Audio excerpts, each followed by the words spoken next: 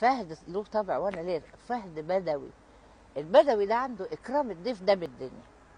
فهو أول ما اتجوزته يعني كان في كريم؟ شقة الجيزة في الأول. طبعه إنه كريم يعني؟ قوي بطريقة رهيبة. طب وإيه العيب في فمرة كده؟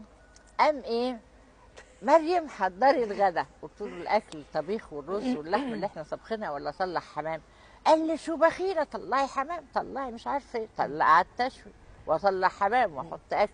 مريم اعمل لنا شاي مش في الفناجيل الافرنجي في الكوبايات العربي قلت 100% ده قريبه آه. وقريبه ده يلهث وياكل. آه. وما فيش كلمة تطلع من بقه.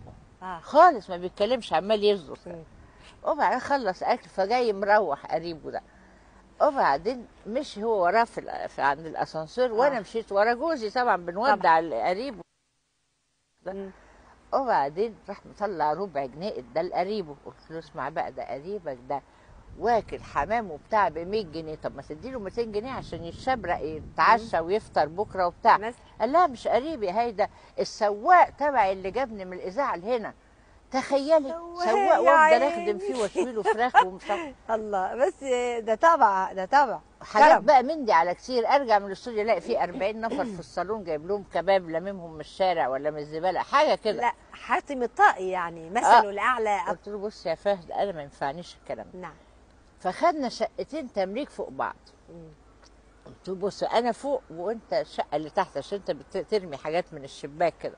بعدين تيجي عليا ارمي على الجيران اللي تحتيك طبعا أنا بأقلم الحاجة. هو شوف ده العيب عيبه الوحيد. آه. والله هو مديني ورقة الطلاق بره الشقة ما حطش رجله جوه الشقة. آه. بس من هنا ومن هنا وقال لي استوري خطأي لو أنا غلطت معاك استوري عليا. كمان؟ أمور. آه آه. وقال لي بدك شيء يعني طلع لي فلوس؟ قال لي قلت له لا أنا بشتغل شكرا وبتاع. باع الشقه تاني يوم بأي ثمن. وراح رايح جبل الدروز ولا سوري.